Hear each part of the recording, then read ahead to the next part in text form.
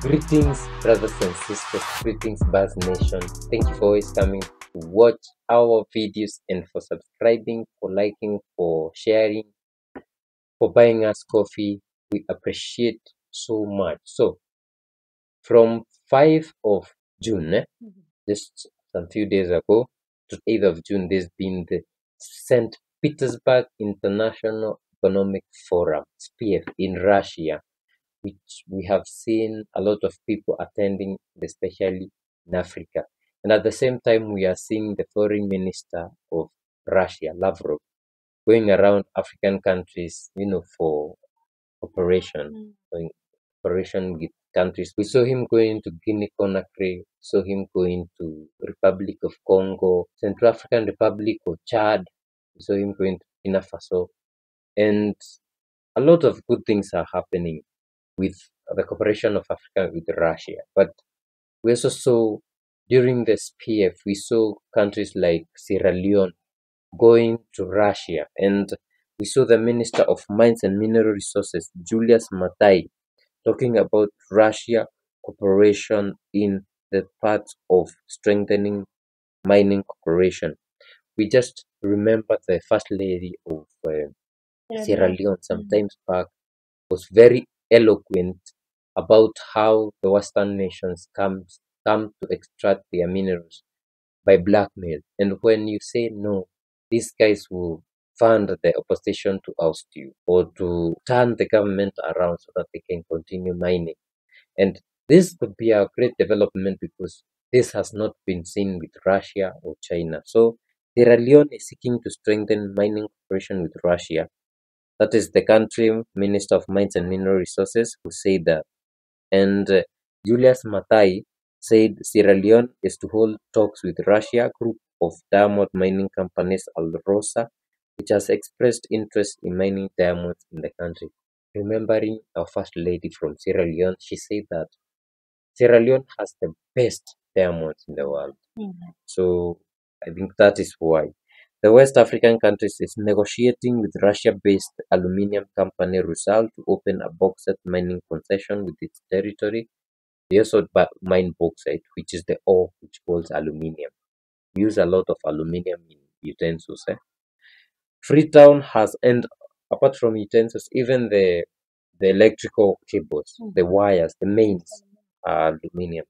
Freetown has signed a memorandum of understanding with Zarbek Geologia International Projects operator for the largest Russian geological holding Rosgeo. The document will allow Zarbek Geologia to work in the country, country's fossil sector.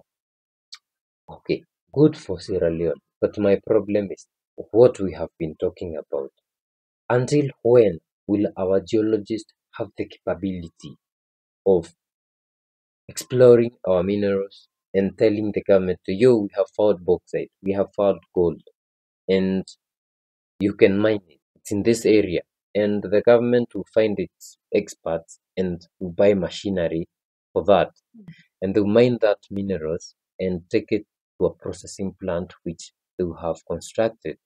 And they will process that minerals. For example, aluminium, they will sell it as aluminium, aluminium as it is, or they will make whatever pans, they make utensils, they make cables and all that. Until when we see Africa mining our gold? Why do we need to keep on running to look for investors like we don't have investors in Africa? Mm-hmm. And we, like I keep on saying this, you find like if you go around Africa, you find young people who are below 30 years and have a lot of money. They, some are musicians. You mm-hmm. find Davido. Is he mining anywhere? No. You find Boy. These people have a lot of money. You see them spending on Lamborghini and all that. Why don't you give them a deal? Tell them, I want you guys to, I'm creating a private public company in which you own like 50% of the shares and the government will own like 49 or or say 50 50 or 51 50 or 59 for 51 49 you know when it's 51 the government becomes a public hmm. so tell them you are africans you belong to this place you are sons and daughters invest in this company. Let us do this. Let us mine. Let us buy machinery. Let us do this. You'll be getting this with your you and your generation. You forever be rich, and you will do this. But these guys only run. If we hear like, for example, you say Mozambique has found natural gas. France. Do you imagine Tinubu doing that, having a sit down with the likes of Davido Yeah, I imagine. and um, And Dakota. and Dangote and Yes. uh, Do you imagine him? Yeah, I do. I imagine. Without him going to get directive from his masters, what I'm trying to say is that until we remove these puppets, we can never see this thing happening Yeah. because there's no way that France will agree to a deal that give the young people of Africa, let them be the ones to show Africa that it's possible. They've tried to distract us from the developments in Burkina Faso by telling us that people are being killed, civilians are being killed, it's a failed state. You can't tell me that Tinubu can just him by himself say, Hey Davido, Burna Boy, let's do this. It's impossible why don't you think it? Why do you think it's impossible? because he takes orders from his master. You see, the one thing that has made Ibrahim Traore able to Mhm. work so fast and effectively, Mhm. He started something he calls the Presidential Initiative. Mm. And I remember in Kenya, the former president Uhuru Kenyatta had a presidential initiative, which instead of things going, you know, the Oh. long way, the bureaucracy and all that, it Mm. comes direct from the state, the president. Mhm. And if something like this, a mining company which is owned by the government, it will come directly from the government. And you know, this thing of supporting our own, Mhm. I've seen it with Ibrahim Traore. That guy is brilliant, and we have a lot of things to learn from Yeah. him. Some weeks ago, one or two weeks, I saw him opening a shea butter company, a Mm. company that makes, you know, those uh, products. But he was launching it. It was not for the government. It would never belong to the government. It was by a certain lady in Burkina Faso. But that lady has employed a lot of young women. Scaling the project now. So he was launching it and encouraging others to do that. Yeah, Burkina Faso Traore does that. He went and took young people, showed them how to farm, said, We support you, we'll dig mm. boreholes for you, and we want you to upscale this thing to the rest of the country. You see, now you that see is a now man. he's trusting his young people to because do he doesn't have anybody to report to, he doesn't have to take orders from somebody. So until we are at a point where Africa is fully liberated, and right now we are not, we have neo-colonialism, people coming in from outside to tell us what to do and what not to do, and how we can rule or govern our country. So highly impossible if we have leaders like that. But AES has been an example. We will keep talking about AES because this is kind of example that we need in Africa. You remember Magufuli was able to Exactly, because like also that. he was refusing. Guys, let me tell you a story about president, the former president of Tanzania, Tanzania, Mm. Magufuli. John Pombe. When Magufuli was president, Mhm. Kenya used to supply chicks to Tanzania. Mhm. And at one point, if you remember, there was some uproar because at the border, some chicks were lit, they Mhm. were burnt Mm. to ashes. chicks coming from Kenya to, to be Tanzania. grown as chicken in Tanzania. Mm. At the border, they were lit on fire and everything burned. eh? And he said, No chick is coming from Kenya to Tanzania. You see? He told his young people, I want you to do that.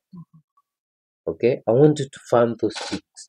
Today, do you know who's supplying chicks to Kenya? Things have changed. Tanzania. So that's what we need. These guys, we, they are supplying things from Europe, from America, from China. If we woke up today, in the next five years, we'll have turned down around the wheel. We'll be like supplying them. But will our re- Who are leaders do that? Not our leaders. Will our politicians do that? No. My goodness. It's flying, flying, flying, Yeah. flying, flying. South Korea, Italy, Russia. Mm. And this will serve as an encouragement for our young people, young Pan Africanists to maybe we need to start these conferences where we just call on each other, um, support each other, sharpen each other, you know, just educate each other about the real issues of Africa because we are troubled as the African community with all these old leaders who have no vision for the continent. I think us as young people need to come together, and we are glad that the Buzz Nation, you guys as citizens, are always behind us saying, We like your work, continue waking up because a lot of us are just sleeping. And until we have young people who can say, I am ready to take up this leadership role and make a difference for my country. It's going to take a while because look at South Africa. ANC has been in power for how many years? 30 years. South Africans are crying.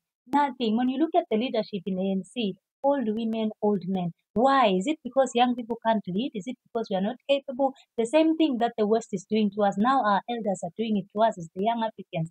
The West sees us as not capable, not being able to. And now it's trickling down to our leaders who think that young people cannot do it. So it's time for us to change this And, and that generation we Mm. have of politicians, I will not call them leaders. Mm, That generation of politicians, mm, 90% of them think that Africans can, are unable, Africans are inferior, inferior, and we have to go to the West to get now what we want. Guys, let us know what you think in the comment section. If you would like to support us do that initiative of maybe starting those we conferences, do that. true. Have people like PLO and the Mamaricanas to come and knock it into our heads. Uh-huh. Like this is how you, if you want to take up a leadership position, how do you position yourself in society? So let us know, not just in the comment section, we have an email. It's on the screen. The, we have an email on the description. Just don't mind reaching us out. We will talk about this. Yeah. We need someone to push us, to tell us you can To do guide this. us. Yeah, Yeah. to guide us. Mhm. And you guys are the best. Let us know what you think about all this. We see you in the next video. Bye bye.